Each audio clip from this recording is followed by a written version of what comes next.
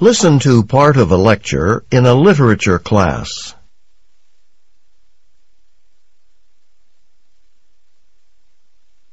Alright, so let me close today's class with some thoughts to keep in mind while you're doing tonight's assignment. You'll be reading one of Ralph Waldo Emerson's best-known essays, Self-Reliance, and comparing it with his poems and other works. I think this essay has the potential to be quite meaningful for all of you, as young people who probably wonder about things like truth and where your lives are going, all sorts of profound questions. Knowing something about Emerson's philosophies will help you when you read Self-Reliance. And basically, one of the main beliefs that he had was about truth. Not that it's something that we can be taught. Emerson says it's found within ourselves. So this truth, the idea that it's in each one of us, is one of the first points that you'll see Emerson making in this essay. It's a bit abstract, but he's very into uh, into each person believing his or her own thought, believing in yourself, the thought or conviction that's true for you. But actually, he ties that in with a sort of universal truth, something that everyone knows but doesn't realize they know. Most of us aren't in touch with ourselves, in a way, so we just aren't capable of recognizing profound truths.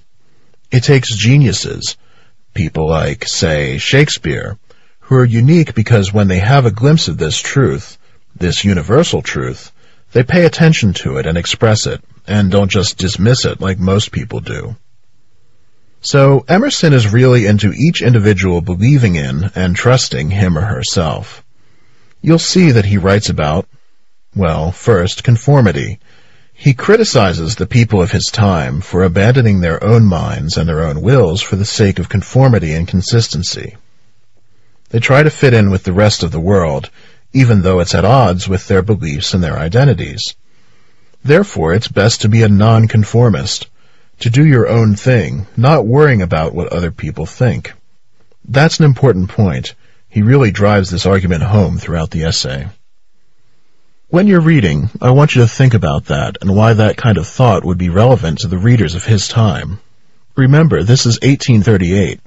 Self-reliance was a novel idea at the time, and United States citizens were less secure about themselves as individuals and as Americans. The country as a whole was trying to define itself. Emerson wanted to give people something to really think about, help them find their own way and uh, what it meant to be who they were. So that's something that I think is definitely as relevant today as it was then. Probably, um, especially among young adults like yourselves.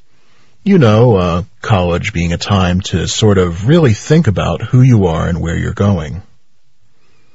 Now, we already said that Emerson really emphasized nonconformity, right? As a way to sort of not lose your own self and identity in the world, to have your own truth and not be afraid to listen to it? Well, he takes it a step further. Not conforming also means uh, not conforming with yourself or your past. What does that mean? Well, if you've always been a certain way or done a certain thing, but it's not working for you anymore, or you're not content, Emerson says that it would be foolish to be consistent even with our own past. Focus on the future, he says. That's what matters more. Inconsistency is good. He talks about a ship's voyage, and this is one of the most famous bits of the essay, how the best voyage is made up of zigzag lines. Up close, it seems a little all over the place, but from farther away the true path shows, and in the end it justifies all the turns along the way. So don't worry if you're not sure where you're headed or what your long-term goals are. Stay true to yourself and it'll make sense in the end. I mean, I can attest to that. Before I was a literature professor, I was an accountant. Before that, I was a newspaper reporter. My life has taken some pretty interesting turns, and here I am, very happy with my experiences and where they've brought me.